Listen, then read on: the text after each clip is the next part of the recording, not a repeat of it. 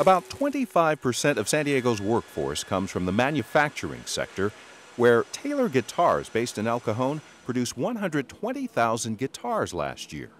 With 400 employees in San Diego, Taylor manufactures five different shapes and 11 different models.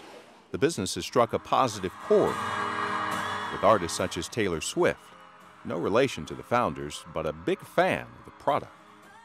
Taylor Guitars is one of those iconic brands that we have here in San Diego that if folks know guitars globally, I mean, you and I could be in Europe, we could be in Asia, and if people are really into guitars, they know Taylor Guitars. Mark Cafferty is with the Regional Economic Development Corporation. Their job is to attract and retain businesses like Taylor in San Diego.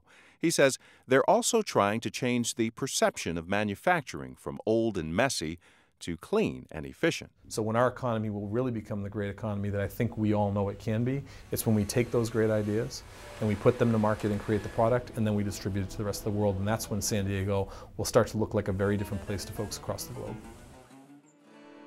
Taylor Guitars is now worldwide and will soon be celebrating its 40th anniversary.